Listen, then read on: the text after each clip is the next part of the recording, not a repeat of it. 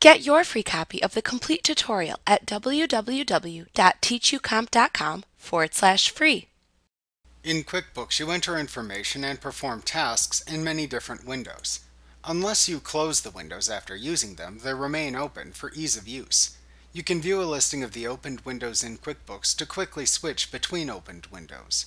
This listing is called the Open Windows list.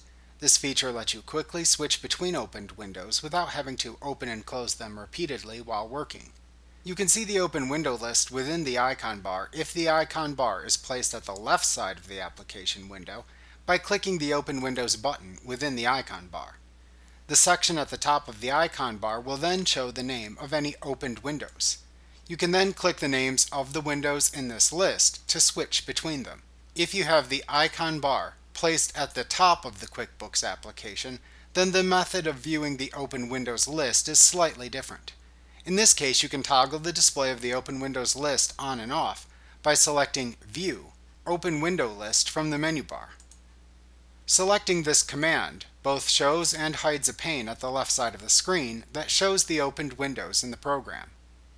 You can click the name of a window in this list to bring that window to the foreground of the stack of open windows in QuickBooks. Like what you see? Pick up your free copy of the complete tutorial at www.teachucomp.com forward slash free.